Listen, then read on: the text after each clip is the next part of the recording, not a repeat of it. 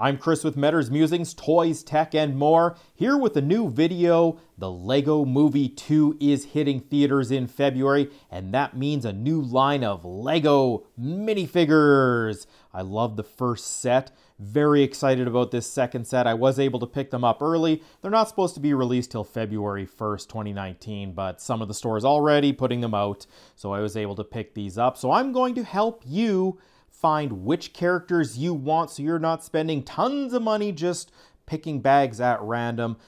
Following this video, I'll make sure that you find the characters that you want so you can complete the set or just pick up your favorites. So the first thing to know about the LEGO Movie 2 minifigures is that there are 20 of them in this series. And it includes four figures from The Wizard of Oz, which are really cool. But enough about that. Let's get right into this. Starting with figure number one, we have the new awesome remix Emmet. He's got a coffee cup and he's got his music player that's playing. Everything is awesome.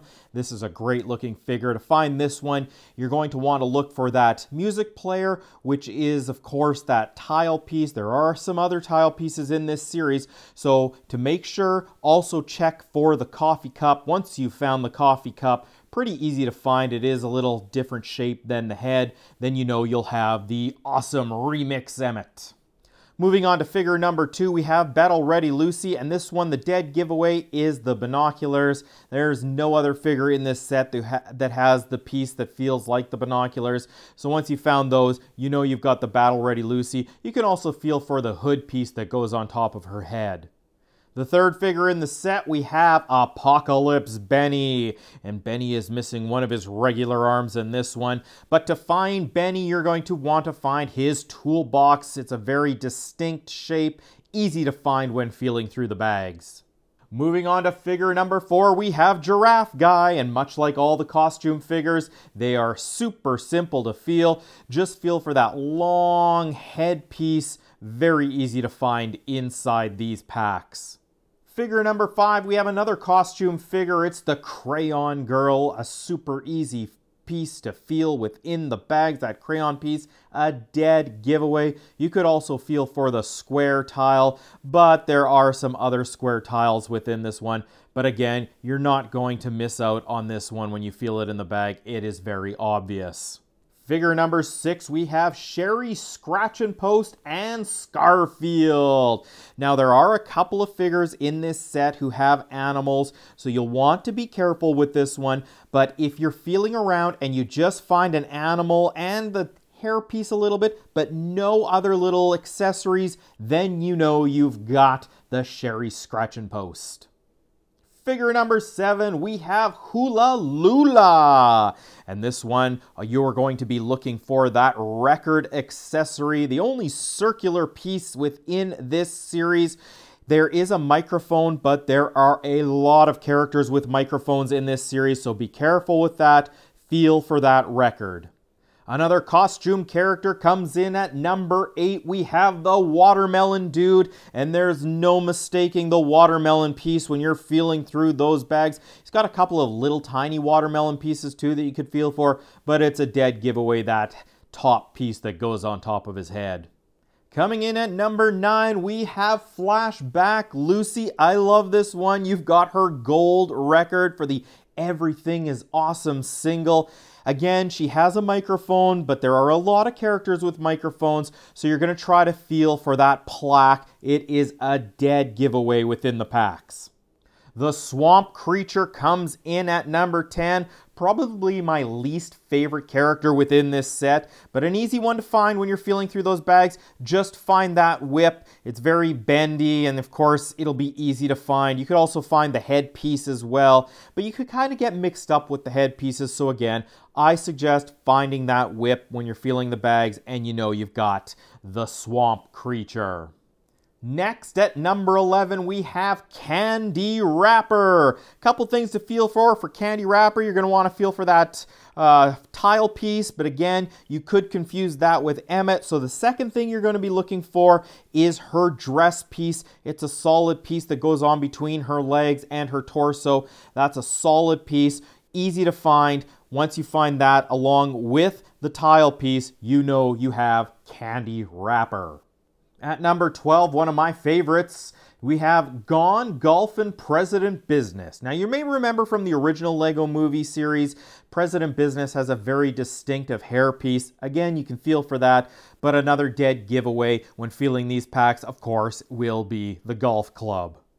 Number 13, we have Apocalypseburg Abe. Now for Abe, you're going to want to feel for his hat. It is a top hat fairly easy to find. You could also look for the axe pieces. It's two pieces, so you'll want to feel for the long stick, and then of course the piece that does attach to it. But I found easiest is to look for his big top hat. At number 14, we have Vest friend Rex. Now for this one, a good thing to look for is his hat. It's very distinctive.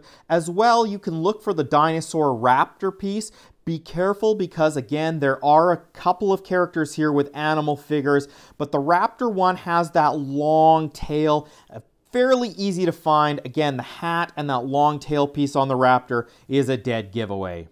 Coming in at number 15, we have Kitty Pop. Now for Kitty Pop, again, another figure with a microphone, but what gives her away, of course, is her guitar. So feel that guitar finds the microphone, and you have yourself Kitty Pop. Now we're going to get into the Wizard of Oz characters, and first up at number 16 is Dorothy herself. Dorothy has very soft hair, so you can feel that if you find the hairpiece and you can squish it, likely you have Dorothy, but also check to make sure that you're finding one of those animals. You have Toto with her, so you got Dorothy and Toto, easy to find. Next, within the Wizard of Oz, you have the Cowardly Lion. This one I did have a little bit of trouble finding because it does have that uh, rectangular tile piece, much like Emmet and Candy Rapper. You got to be careful. So with the lion, you're also going to want to try to feel for the tail, which is squishy, as well as that headpiece that goes on top. Fairly easy. You can feel the ridges within it. Again, find the, the rectangular tile, the tail, the headpiece, you've got yourself the Cowardly Lion.